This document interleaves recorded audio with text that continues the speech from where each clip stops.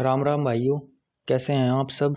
मैं आप सभी का स्वागत करता हूँ हिंदी डिफेंस चैनल पर, जहाँ पर मैं भारत की डिफेंस पॉलिसी के बारे में और डिफेंस पॉलिसी को प्रभावित करने वाले जो बाकी के फैक्टर्स हैं, उन सभी फैक्टर्स के बारे में आप सभी लोगों से बात करता हूँ। तो चलिए दोस्तों, शुरू कर लेते हैं आज की वीडियो। अभी कुछ दिनों पहले आपने सुना होगा कि डीआरडीओ जो कि एक मुख्य संगठन है भारत की फोर्सेस के लिए हथियारों का निर्माण करने वाली। वह लगभग हर दिन कोई ना कोई मिसाइल टेस्ट कर रही थी। वैसे तो वे सभी परीक्षण घने महत्वपूर्ण थे, सबके अपने अपने महत्व थे, पर अब जो डीआरडीओ करने वाला है, ये एक नेक्स्ट लेवल का है। अच्छा ये नेक्स्ट लेवल का कैसा है? दोस्तों, वो भी मैं आपको बता देता हूँ। दरअसल एक शब्द होता है, आपने सुना होगा न्यूक्लियर ट्रायड इसका मतलब होता है कि कोई देश न्यूक्लियर यानी कि परमाणु हमलों को तीनों जगह से करने में सक्षम हो। वो तीन जगह कौन कौन सी है? एक तो ज़मीन से कोई भी परमाणु मिसाइल किसी देश पर हमला करे, पहली। दूसरी, आसमान से। आसमान से कैसे होगा? ये जो आपके लड़ाकू विमान होते हैं, एयरक्राफ्ट, जैसे राफेल हुआ, आपका मिराज सुखोई हुए, ये क्या करते हैं? न्यूक्लियर मिसाइल ले जाते हैं। तो ये आसमान से भी हमला कर सकते हैं अपने दुश्मन देश पर। और जो तीसरा और सबसे महत्वपूर्ण है, ये तो बहुत ही कम देशों के पास है दोस्तों। यानी पनडुब्बी, पानी के अंदर से परमाणु हमला करने की तकनीक। इस तकनीक को विकसित करने में, इसे मैच्योर करने में, इसे जुटाने में सालों साल देश लगे रहते हैं, लेकिन तब भी ये नहीं मिलती है। इसे पाना इतना आसान नहीं है।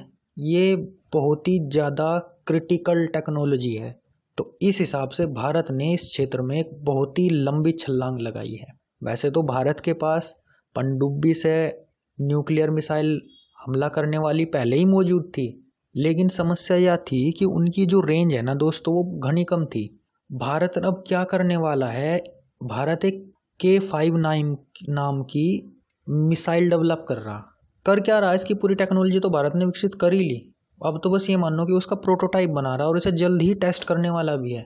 दोस्तों, आपको यकीन नहीं होगा, ये एक न्यूक्लियर मिसाइल होने वाली है और उसकी जो रेंज है, वह पाँच हज़ार किलोमीटर है। पूरा का पूरा चीन, भारत इस अकेली एक मिसाइल से लपेट सकता है, मैं आपको बता दूँ। अब आप सोच रहे होंगे कि पाँच हज़ार से ज़्यादा की रेंज की तो अग्नि फाइव हमारे पास पहले ही मौजूद है। है, मैं मानता हूँ, लेकिन आप उससे पूरा का पूरा चीन नहीं लपेट सकते। क्योंकि पूरा चीन केवल पाँच हज़ार किलोमीटर नहीं है, उससे आगे भी है भाई। बहुत बड़ा देश है चीन, क्षेत्रफल के मामले में। दूसरा, उस मिसाइल को रोकना डिफेंस सिस्टम, जो चीन का जो रक्षा प्रणाली है, वो फिर भी किसी ना किसी तरह उस मिसाइल को रोक सकता है। डिटेक्ट हो जाती हैं ये मिसाइल आसानी से। लेकिन ये जो पानी से पनडुब्बी से लॉन्च होने वाली मिसाइल के फाइव है ना, पहली बात तो यार इन पनडुब्बियों को पकड़ना आसान नहीं होता इन्हें डिटेक्ट करना, इनका पता लगाना आसान नहीं होता। जब भी कोई मिसाइल लॉन्च होती है, यानी भारत की जो परमाणु संपन्न पनडुब्बी है, वह अब साउथ चाइना सी में जाकर इस मिसाइल को यदि चीन पर छोड़ दें तो चूँकि तो बात तो यह है कि साउथ चाइना सी के बहुत करीब है, चीन चीन का जो मेन लैंड है, मुख्य भूमि है तो वहाँ से इस मिसाइल की जद में पूरा का पूरा चीन जो मेन मेन इसके जैसे औद्योगिक एरिया हुए या मेन मेन सिटी हुई, जैसे संघाई बीजिंग ये आसानी से लपट जाएँगे इस मिसाइल में।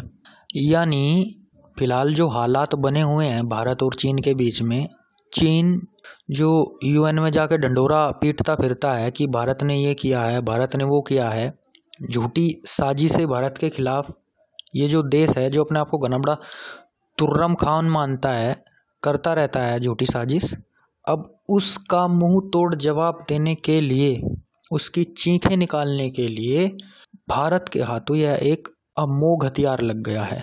जब मुझे इस खबर का पता चला तो यकीन मानिए दोस्तों, मुझे बड़ी खुशी हुई एक भारतवासी होने के नाते, और मैंने सोचा कि मैं अपने भाइयों से, अपने दोस्तों से ये अच्छी खबर शेयर करूँ।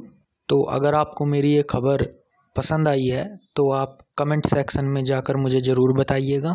और हाँ भाइयों, एक निवेदन हो रहा है आपसे। आप एक तो मेरा चैनल सब्सक्राइब कर लीजिएगा, जिससे मुझे भी प्रेरणा मिले नई नई वीडियो बनाने की। और जब आप इतना कर ही रहे हैं तो वीडियो को लाइक भी कर दीजिएगा और शेयर भी कर दीजिएगा अपने बाकी भाइयों के साथ। बहुत जल्द इसी तरह की वीडियो लेकर आऊँगा आपके लिए। तब तक के लिए आप खुद भी मौज कीजिए और अपनों को भी मौज करने दीजिए। खुश रहिए। नमस्कार।